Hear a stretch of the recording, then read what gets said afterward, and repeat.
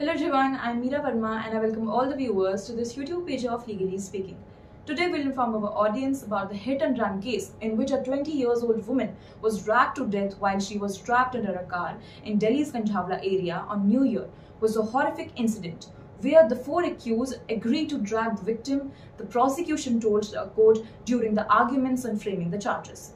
The police had also filed a charge sheet against three others, Ashutosh, Ankush and Deepak under section 201, 212 and 182 of IPC.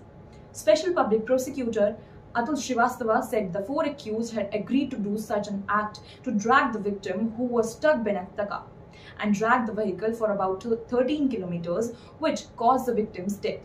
Co-accused Ashutosh and Ankush were subsequently given bail by the Metropolitan Magistrates Court, while the present court granted relief to Deepak Khanna on May 13. So that's all for today. For more legal updates, please like, share and subscribe to our channel.